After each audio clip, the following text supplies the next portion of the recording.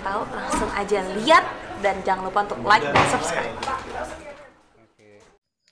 Halo, bertemu lagi dengan Amanda TV. Hari ini saya mengabarkan Amanda bagi-bagi makanan sama teman-temannya. Teman-temannya senang sekali.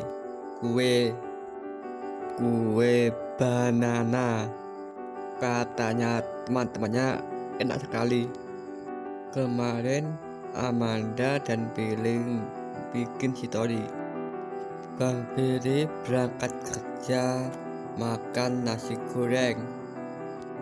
Amanda dan teman-temannya makan banana. Bang Billy makan nasi goreng langsung berangkat kerja syuting oke bos Jangan ke mana-mana, masih ada narasi keren setelah ini.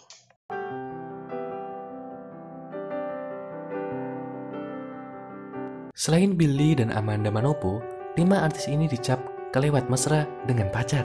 Ada yang foto di ranjang. Menjadi seorang selebritis seolah tidak lepas dari sorotan publik. Kehidupan para artis banyak dikulik, termasuk soal asmara. Kehidupan pribadi artis tampaknya selalu menarik untuk dibahas. Terlebih bagi artis muda yang masih berpacaran, banyak yang memberi dukungan atas hubungan sang artis.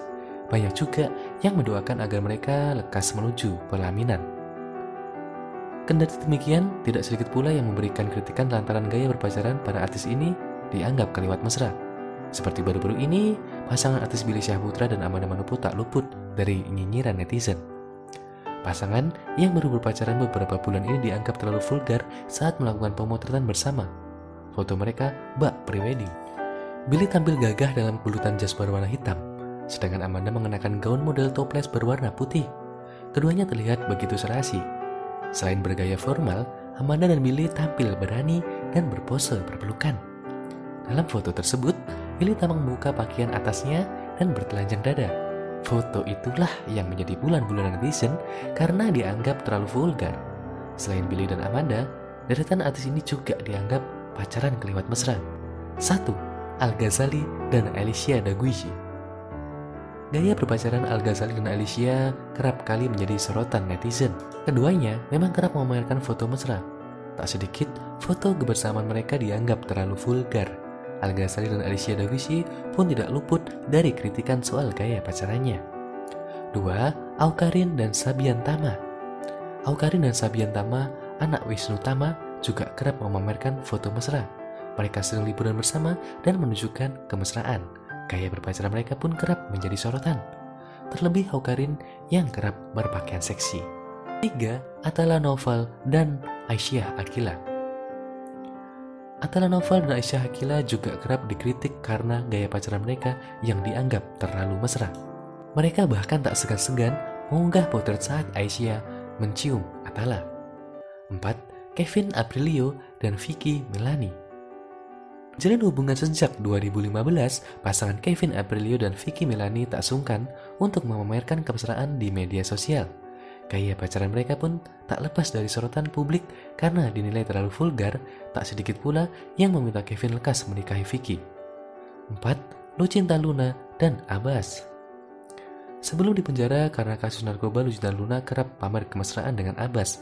Mereka kerap liburan bersama. Foto pun foto mesra pun kerap dibagikan di halaman Instagram keduanya. Bahkan Lucinta tidak segan pamer kemesraan di atas ranjang hotel bareng Abbas. Seperti saat keduanya berlibur ke Bandung. Dalam foto yang dibagikan, pelantun tembang status palsu itu tampil seksi dengan crop dengan crop top gelap dan rambut blonde. Sedangkan Abbas nampak memegang mesra dagu Lucinta Luna. Tanggapi foto vulgar sama Billy Syahputra. Amanda Manopo dan Billy Syahputra menuai kritik pedas usai melakukan potret vulgar. Tak ingin berbuntut panjang, bintang sinetron tatapan ibu tiri ini bahkan buka suara mengenai pose Billy yang bertelanjang dada sambil memeluknya. Beberapa waktu lalu, adik almarhum Olga Saputra itu telah mengungkapkan bahwa pemotretan itu mengikuti gaya artis Hollywood seperti Zayn Malik. Lalu bagaimana tanggapan Amanda Manopo? Kita intip artikelnya. Amanda Manopo dan Billy Syahputra kerap melakukan pemotretan bak prewedding. Baru-baru ini, keduanya dicibir warganet ketika akun Instagram @fdfotografi90 mengunggah potret mereka yang dinilai vulgar. Billy yang bertelanjang dada dan busana Amanda yang minim tampak berpelukan sembari mencium rambutnya. Perempuan 20 tahun itu akhirnya menanggapi fotonya yang viral. Aduh, kalau misalnya dengerin orang nggak akan ada habisnya ya. Ya udah, biarin aja. Lagi pula itu foto udah lama, tapi mungkin baru diupload dari fotografernya dan itu nggak ada maksud apa-apa. Cuma saling bantu. Aku bantu FD, terus kita iseng-iseng foto. Gitu doang sih ya kata Amanda dilansir Intip Seleb dari kanal YouTube Star Pro yang diunggah pada Rabu 14 Oktober 2020. Diketahui bahwa banyak komentar nakal yang mengatakan bahwa payudara Amanda sangat menempel dengan dada sang kekasih.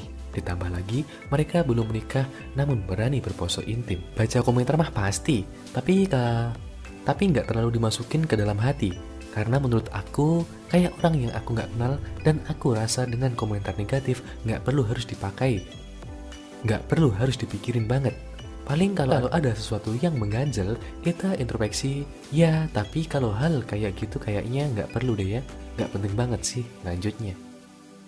Mana melanjutkan bahwa dia tidak cuek dengan omongan warganet, bahkan dia akan melakukan apa yang disukai tanpa melihat pandangan orang lain terlebih dahulu. Nggak akan ada yang memilih apa yang harus diposting untuk jaga image atau apa, itu nggak perlu. Apa pun yang aku sukai, apa pun yang aku senangi, itu yang harus aku posting. Terserah orang mau bilang apa, karena kebahagiaan itu aku yang buat sendiri, bukan orang lain. Perempuan yang melejit lewat sinetron Mermaid in Love. Fakta mengejutkan bahwa Billy tidak di follow back oleh Amanda di Instagram meski telah berstatus sebagai kekasih. Amanda mengatakan bahwa itu sudah lama dan kini ia sudah mengikuti akunnya. Karena apa ya? Itu kan cuma sosial media. Yang penting nggak harus follow-followan lewat Instagram, tapi kan follow-followan hatinya. Karena sosial media itu sensitif, bisa jadi perpecahan kekeluargaan. Pasti ada negatif-negatifnya. Ibu Amanda. Pasangan beda 9 tahun ini masih ingin melakukan berbagai pemotretan dengan tema tertentu. Namun Amanda dan Manopo dan Billy Syaputra masih berpikir untuk mengunggahnya karena ingin tampil tertutup. Jangan ke mana-mana, masih ada narasi keren setelah ini. Halo, ketemu lagi dengan Amanda TV. Hari ini filmnya Amanda tayang jam setengah delapan. Jangan lupa nonton. Bang Billy punya acara baru. Namanya Pagi-pagi Ambiar. Amanda dan Billy pulang syuting langsung langsung perawatan wajah Wajahnya Amanda sangat bersih sekali, putih dan cantik. Ditemani Bang Billy, Bang Billy juga perawatan wajah sama Amanda. Semoga hubungannya Amanda dan Billy langgeng terus. Jangan ke mana-mana, masih ada narasi keren setelah ini.